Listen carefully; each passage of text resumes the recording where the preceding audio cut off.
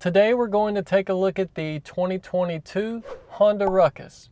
We'll talk about where this 49cc scooter fits into Honda's current scooter model lineup, and we'll also go over some of its specs and features, what changed for 2022, plus we'll start it up for you so you can hear what it sounds like in stock form. And if you guys find any info in this video helpful, or you just like scooters in general and want to show your support for the time spent making this video, please take a second and hit the like button for YouTube's algorithm. Dropping a like and commenting below helps more than you guys know, and I really appreciate it.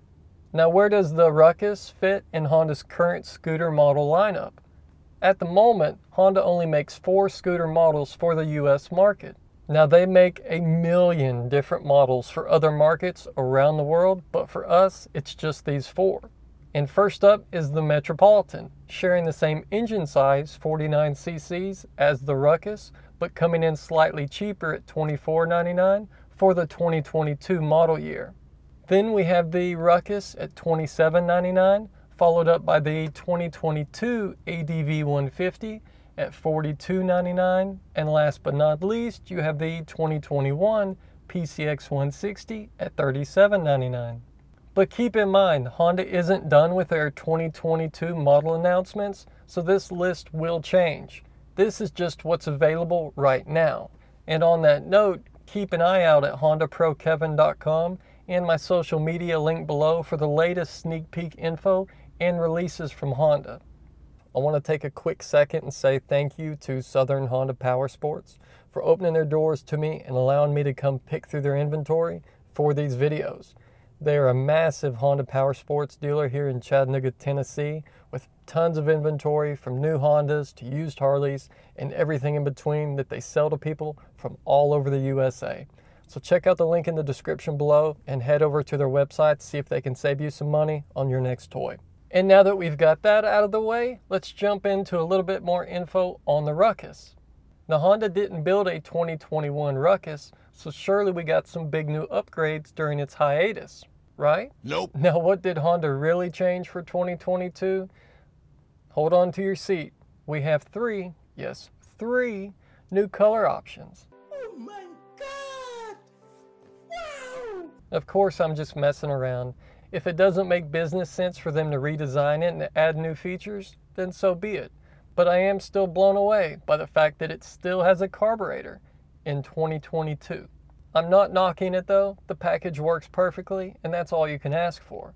Now your three new color options for this year are white and metallic blue, followed up by midnight blue and tan, and the last one Honda just calls gray. Now with the Ruckus, you don't have any model options or variations to choose from like ABS, so your MSRP across the board for all colors is $27.99. Now, let's get to a few numbers around the bike. The Ruckus has a curb weight of 194 pounds, making it 15 pounds heavier than the Metropolitan. It also has a 28.9 inch seat height, making it about a half an inch taller than the Metropolitan. And the Ruckus has a 1.3 gallon fuel tank, and Honda rates it at 114 miles per gallon, which puts you around the 140 ish mile mark before you're walking and it has 5.7 inches of ground clearance and it's 73.2 inches long and 28.9 inches wide with a maximum weight capacity of 220 pounds. And next up we'll get to the engine. The Ruckus has a 49cc four-stroke overhead cam, two-valve liquid-cooled engine with a slightly different bore and stroke than the Metropolitan, coming in at 37.8 by 44 millimeters and an 11 9 to 1 compression ratio. Now when it comes to induction, it isn't fuel injected like the rest of Honda's models. This has an 18 millimeter constant velocity carburetor with an automatic choke. Is that a bad thing? Of course not. Honda's been doing carbs for a few years now, so they kinda know what they're doing, but it's something you should be aware of when shopping. Another thing to be aware of is maintenance. This engine has a slightly different maintenance schedule than the Metropolitan, Honda's other 49cc scooter. The Ruckus's first service is due at 600 miles, and then every 2,500 miles for oil changes and valve inspections every 15,000 miles, compared to the Metro that has its first service at 600 miles too, but its oil changes and valve inspections are recommended every 4,000 miles. Now, is that a big deal for everyone? No, but it's something to keep in mind if you're the type of person that wants to follow the maintenance schedule to the T because the maintenance cost for each of these models is going to be different. Now it's 2022, so of course it has an electric starter, but it also has a backup kickstart, something that used to be a standard feature on almost everything, but has been disappearing over the years. At least with Honda's ATVs, when they pulled the backup starter off, you could buy it as an accessory. But that's not the case on these. You either get it or you don't. And thankfully, you do on the Ruckus. So you do have a backup just in case your battery does die. Now, when it comes to the transmission to propel this scooter, Honda uses a V-Matic CVT setup that is fully automatic. You just twist the throttle and go. Unlike the DCT and HFT automatic transmissions from Honda, you don't have to worry about finding neutral and drive or different modes. With the Ruckus, you just press the start button and do nothing but twist the throttle to go, and then you have your front brake lever on the right side of the handlebar and your rear brake on the left side. And when it comes to brakes, you have a single 95 millimeter mechanical drum up front and in the rear with a parking brake that's operated by the tiny lever by your rear brake lever. Then we have the wheels and tires, which are one of the most distinguishable features from the Ruckus over the years. It's rolling on Kenda K761 dual sport tires that are rated at 30% dirt and 70% road, wrapped around 10 inch wheels with a 120/90 up front and a slightly wider 130/90 in the back. Basically, reminding you that with the rugged styling Honda was going after when designing this, that you can take it off road if need be. Now, can you hit your local motocross track with it? Nah, I'd hold off on that a bit longer unless you're going to sink a ton of money into it. But for light trail duty and a few shenanigans here and there, it'll definitely get the job done.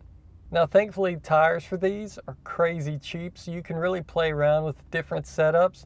And I've got a link below to my Amazon store with some of those different options and all kinds of different ruckus parts and accessories you can flip through. And next up is the chassis and suspension. The Ruckus has a two-piece die-cast aluminum front frame with a steel upper rear frame. It has a pretty basic non-adjustable fork up front that provides you a whopping 1.93 inches of travel. And if that scares you, thankfully you have a ton of aftermarket options to modify the suspension. You just have to crack the wallet open. And out back you have a single-sided aluminum swing arm with a single shock that pulls in 2.6 inches of travel. And now let's talk a little bit about storage, as that's usually a pretty important topic when it comes to scooters. Now, when it comes to the Ruckus, you have no storage. What? None. Well, you kind of have a little bit. And when I say a little, I mean it. That's what she said. the only place you have to stash anything is under the seat and you'll need a screwdriver to get in there to remove your owner's manual so you can then put something else in there. Thankfully, there are aftermarket companies, though, ready and willing to take your money as there are some options out there. You have storage options that fit under the seat, up front, and saddlebags, just to name a few. I am kind of surprised that we're pretty much 20 years into this model's lifespan and Honda doesn't really have any OEM accessories for you to choose from like almost all of the other models in Honda's lineup. Now when it comes to your gauges and display, let's be honest, the Ruckus is a little lacking. You have a small analog speedometer with a few dummy lights for low fuel, high beams, turn signals, and then your odometer, and that's pretty much it. And next up, we'll start the Ruckus up and show you what it sounds like.